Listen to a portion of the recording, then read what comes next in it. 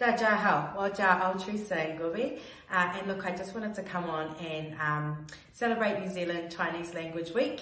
Uh, I think I posted last year to say not many people know that I have Chinese heritage, uh, so I come uh, from the Chongni Ahni family.